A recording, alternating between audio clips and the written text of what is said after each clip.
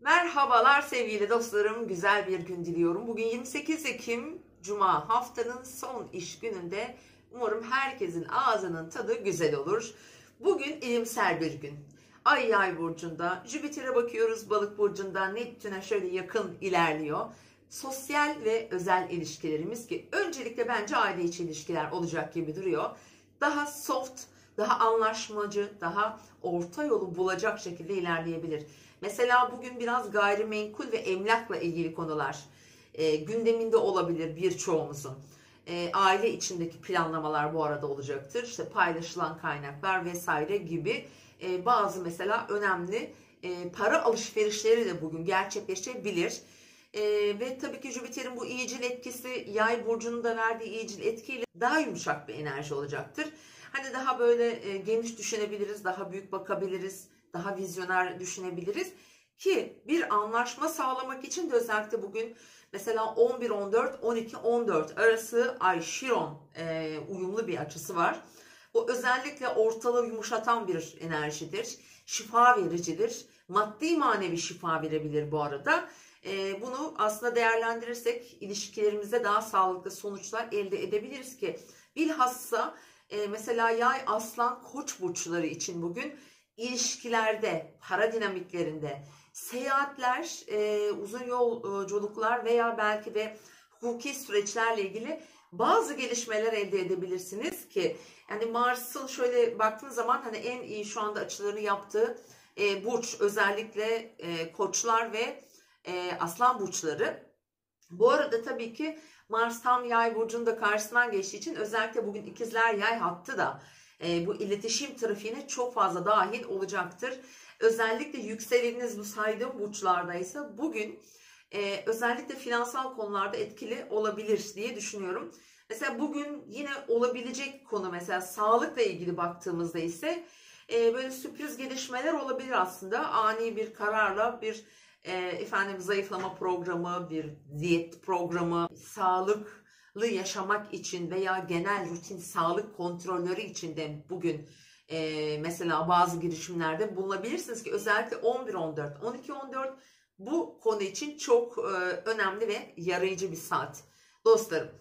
Evet onun yanı sıra tabii ki tutulma etkileri devam ediyor. E, Venüs, Güneş, e, Akrep Burcu'ndaki ve tabii ki Güney düğüm aksında olduğu için oradaki e, duygusal, o yoğun enerji de aktif devam edecek hala. Ve bugün bizim işimize yarayacak, destekleyecek bir saatimiz var ayın Satürn'e. Saat 20.16-21.16 arasında.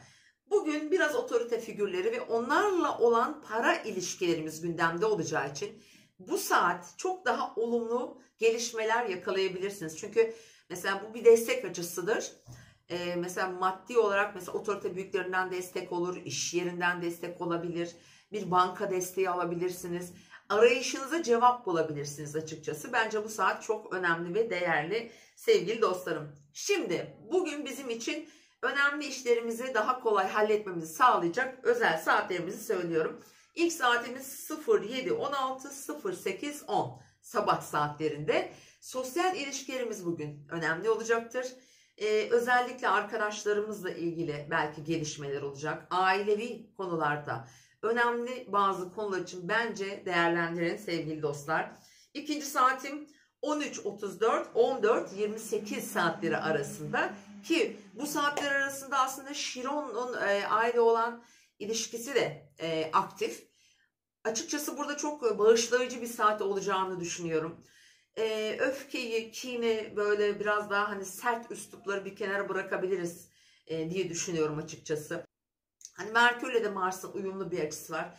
E, anlaşma sağlamak, ilişkilerde özellikle bir adım atmak, e, var olan süren işlerimizde e, yeni bir aşamaya geçmek, başvurular, sonuçlar gibi bence çok iyi bir saat. Bu saati değerlendirirseniz eğer. Diğer saatin bugün e, çok olumlu bir saate denk geliyor arkadaşlar. 20-16-21-23. Çünkü Satürn'ün aile olan uyumlu açısı var. Şimdi birinin kapısını çalacaksınız. İşte e, örnek gösteriyorum ablanızdan, abinizden bir talebiniz olacak veya bir derdiniz var veya patron veya başka bir otorite figürü.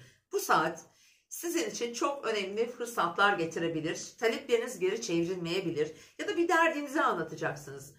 Olmadı birine evlenme teklif edeceksin mesela ya da bir yatırımından bahsedeceksin.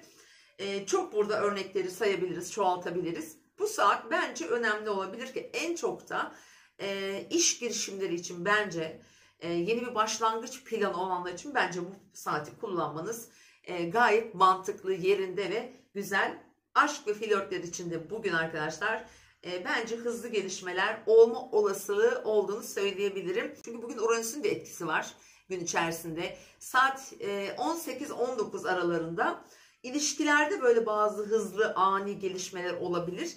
Düğümlere de çünkü bir takım e, göndermeler var. Şimdi şöyle baktığım zaman Şimdi biraz gizliliklerle ilgili konu, perde arkası konular hala gündemde. Bilhassa mesela bir hukuki sürecin açılımı, bir ilişkiyle ilgili konuşulması gereken ama konuşulmamış konuların açılımı e, gibi bunları değerlendirebilirsiniz. Ama şunu söyleyebilirim. Bugün sağlık ve şifa anlamında hızlıca gelecek güzel sonuçlar bekleyebilirsiniz. Özellikle bu konuda bir girişim yapmak istiyorsanız gerçekten tam da hani akrep yeni ayı yaşadık ya. Akrep şifadır, iyileşmedir, yeniden doğmaktır. E, kendi kendini iyileştiren bir biliyorsunuz varlık. Dolayısıyla da bu yeni ayın etkileri hızlıca bir şifalanmayı getirebilir. Ee, uzun süredir süren bir sağlıkla ilgili mesela bu başka ebeveyn sağlığı da olabilir. Sevdiğiniz birilerine olabilir. Belki de kendinizle ilgili. Bence değerlendirin sevgili dostlarım diyorum. Evet değerli arkadaşlar izlediğiniz için teşekkür ediyorum. Videolarıma yorum yapıp beğeni bıraktığınız için elleriniz dert görmesin diyorum. Yarın yine görüşmek üzere. Kendinize iyi bakın.